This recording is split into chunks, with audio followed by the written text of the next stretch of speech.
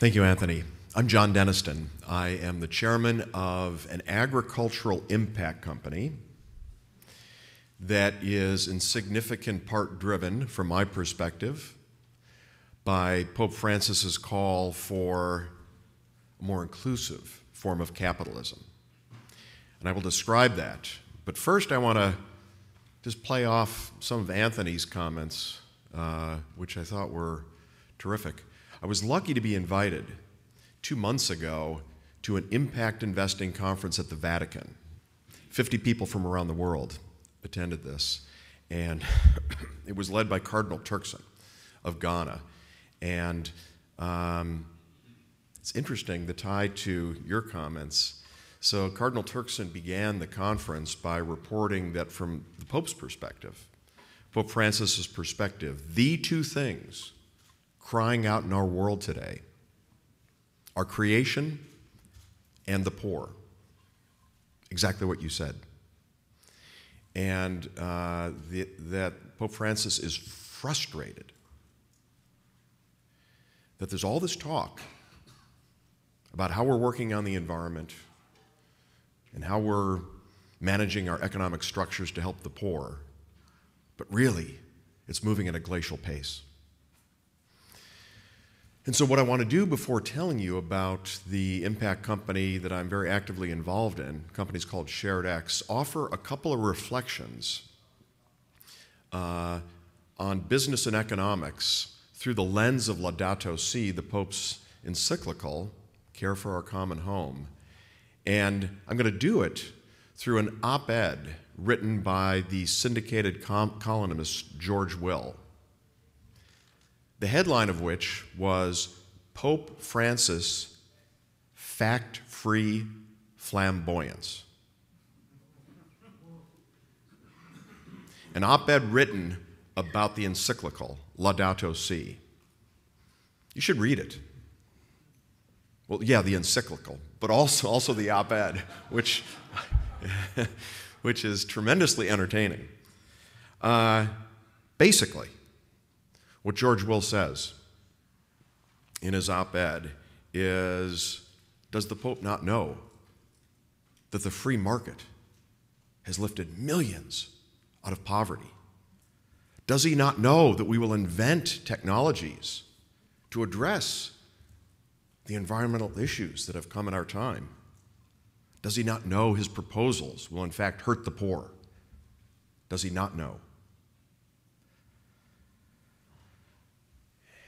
My observation is you see a lot of reaction in the media to Pope Francis and this encyclical in, in particular, where it's pretty obvious to me that those people haven't read it.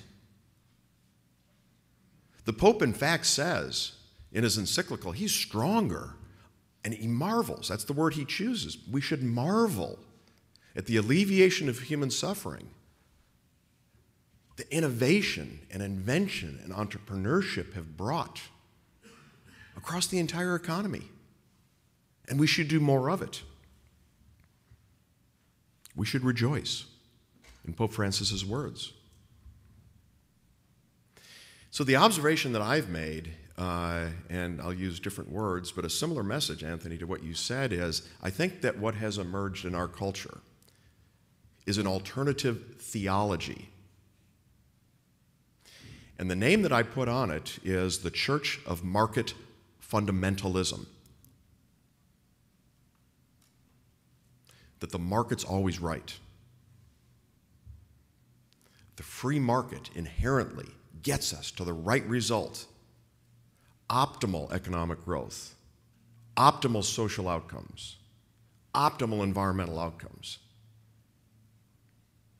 That the formula of each of us and our own self interest, trying to maximize our economic behavior, achieves ideal outcomes across the board in the world. Of course, that's not true. It's obvious on its face. So it's interesting to note uh, the, the term that's widely used to describe this alternate theology is the invisible hand. coined, sort of, by Adam Smith in The Wealth of Nations, published in 1776. The invisible hand gets us to these outcomes. There was a speech given 13 years after the publication of The Wealth of Nations. Speech was given by America's first president, George Washington. It was his inaugural address. And he used the term invisible hand not to describe the free market, but to describe the providence of God, of the Holy Spirit. And he marveled at how did our country come together? How was it that I stand before you? How is it that we've come together against all odds? His answer is it was the invisible hand of God. And you can see that, that term, the invisible hand, widely used in that era to describe a theological concept, not an economic one. And yet, the term's been hijacked so that when in our culture today we hear the term, the invisible hand, we bow to Adam Smith and the perfection of the free market. Some describe Pope Francis as a radical, a Marxist. How dare he? As Anthony said, actually, if you look at conventional Catholic social teaching, hearkening back to Pope Leo XIII in 1891, in his encyclical, Rerum Novarum, it's all there. Echoed over the, the decades, over the century plus, by Pope Paul VI, St. John Paul, Pope Benedict. The only thing that's new is how Pope Francis is saying it in his own colorful fashion. The Catholic social doctrine is the same. But the reaction has changed. So what's changed? Catholic social teaching has been constant for 125 years. What's changed? And in my view, what's changed is the emergence of the Church of Market Fundamentalism. In Laudato Si, Pope Francis tries to identify what's changed, and he, has, he says it's the emergence of individualism away from community, just as Anthony told us. I would add to that what Anthony told us the hollowing out of the middle class due to inequality. That's destabilizing and creates certain beliefs. So, before getting to shared X, the last thing I want to say is, uh, in my opinion, the supply side economic theory let the wealthy make their money, everybody does well. It's the wrong question. The question that that, that theory asks is Does supply side increase economic growth? Well, of course it does. But that's the wrong question. A better question is Does supply side economics drive the optimal economic growth? And furthermore, is the only goal that we have as a society economic growth? Do we have social objectives too? Do we have environmental objectives as well.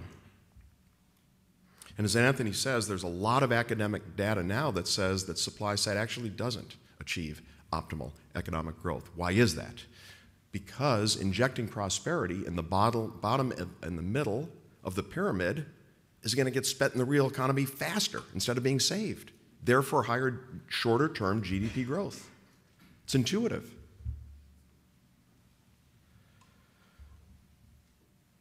There's hope in the form of the impact economy.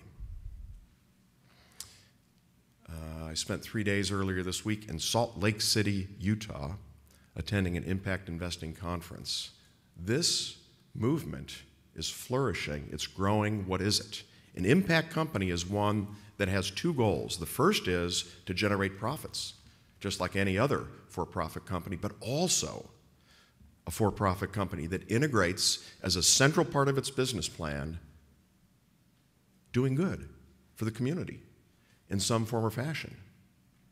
It could be employment, a living wage, it could be education, it could be health. And all manner of companies out there are moving in this direction. And in particular, the millennial generation is all about it. If you go to the business schools, the leading business schools in our country, the demand from the grassroots, the students, the millennial generation, to have a career where they can make money and do good is off scale. I've never seen anything like it before. We're experiencing that firsthand at SharedX when we go to universities and tell our story. So, briefly, SharedX. We are a, an impact agriculture company. We grow high value specialty crops in emerging countries, and we're seizing on this phenomenon in agriculture called the yield gap. The yield gap is the astonishing differential in bushels per acre when comparing a developed and an emerging country farmer. It can be factor five, factor seven, factor 10. And the only reason for the difference, or the main reason for the difference, is our farmers in the developed world have advanced sustainable farming techniques and the knowledge by which to apply them. And the farmers in remote areas of emerging countries do not. That's the reason. And so, in one sentence, our business plan at SharedX is to collapse the yield gap by deploying the most advanced sustainable farming techniques and also to share those techniques with our neighbors, the smallholder farmers. It's been really a joy to uh, travel this country and some of the world to encounter and dialogue with other impact entrepreneurs. And it's a different, this conference that I was at this week and the one that I attended in the Vatican two weeks ago, it's a different kind of feeling and a different kind of dialogue because everybody there, in some form or fashion, is looking to use the profit motive to change the world for the good.